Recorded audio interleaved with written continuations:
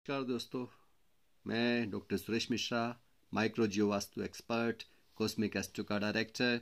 अपने जीवन के महत्वपूर्ण वर्षों में जो मैंने रिसर्च की, उसमें से कुछ फंडामेंटल्स जो मैंने गाइडलाइंस अचीवमेंट की, वही आपको बताता हूँ। आज आपको बता रहा हूँ पश्चिम दिशा के बारे में, वेस्ट डायरेक्शंस, जहाँ पर सूर्य अस्त होते हैं।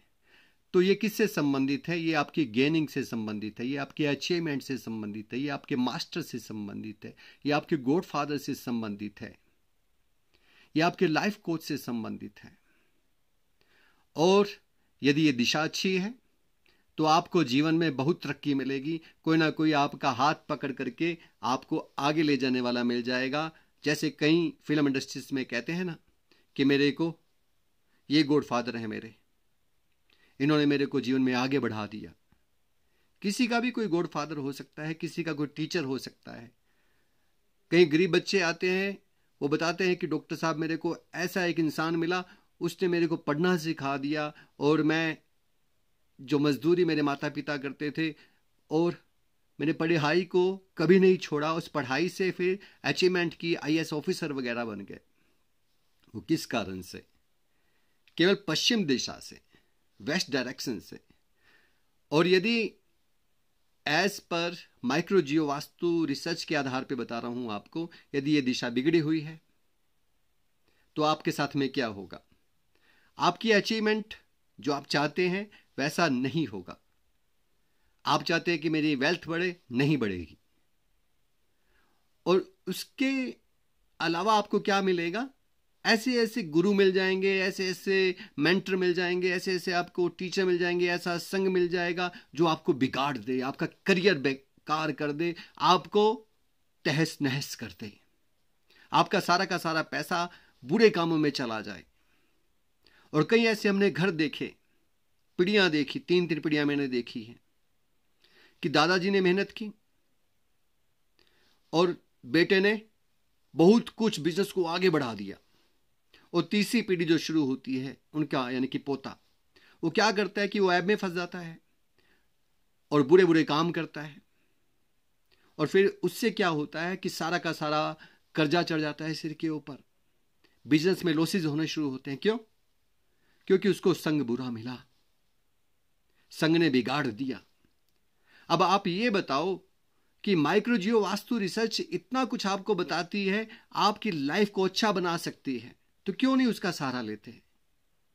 क्या आपके लिए पैसा महत्व रखता है? क्या आपके लिए और कुछ चीज़ का महत्व है? या संबंध का महत्व बिल्कुल नहीं है? बच्चों का महत्व बिल्कुल नहीं है? करियर का बिल्कुल भी महत्व नहीं है? तो क्यों आप संकोच करते हैं अच्छे सलाहकार से, अच्छी सलाह लेने पे?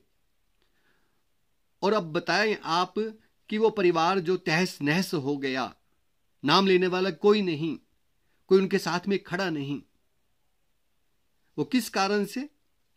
वेस्ट डायरेक्शंस और भी कुछ सिम्टम थे, उनकी कुंडलियों में भी ऐसे सिम्टम थे। और जीवन में तरक्की करने के लिए एक अच्छा सलाहकार, एक अच्छा माइक्रो जियो वास्तु एक्सपर्ट जिसने अपने जीवन लगा दिया इसमें। किताबी ज्ञान नहीं प्रैक्टिकल में चाहिए। तभी आप समाज का भला कर सकते हैं। यदि आप चाहते हैं आपके जीवन में तरक्की हो, आपका बिज़नेस अच्छा चले, आपके परिवार में प्रेम बना रहे, आपके संबंध अच्छे हों और आपका नाम, मान, सम्मान, आपके परिवार की ख्याति बढ़े, तभी आपके जीवन में कोई अच्छा माइक्रो जियो वास्तु एक्सपर्ट आ सकता है और आपके जीवन को अच्छा बना सकता है। नहीं तो आपको क्या मिलेंगे? गुरु घंटाल मिलेंगे जो आपको लूट करके ले जाएँगे।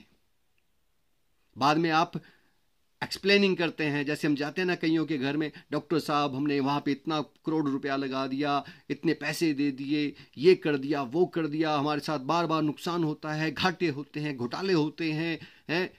ये सब किस कारण से? इसी कारण से। दिशाएँ बोलती हैं कि आपकी क्या दशा है? जो आप यहाँ पे पहुँचे हैं, वो इस कारण से आप पहुँचे हैं। या तो अपने कर्म को सुधार लो, या कुंडली को सुधार लो, या वास्तु को सुधार लो। जब तक आप सुधार नहीं करोगे, तब तक आपका जीवन अच्छा नहीं बन सकता। और भाग्य के आप भरोसे रहोगे। कि कुछ कृपा होगी, कुछ ऐसा हो जाएगा, वैसा हो जाएगा। अपने आप पर आपको स्वयं कृपा करनी पड़ेगी। परिवार के लिए बिज़नेस के लिए, बच्चों के लिए, समाज के लिए। यदि आप चाहते हैं जीवन में तरक्की करना तो जो रूल्स हैं रेगुलेशंस हैं फंडामेंटल्स हैं as per micro geo vastu research उसको अपनाएँ और खुशियाँ प्राप्त करें। Have a good day thank you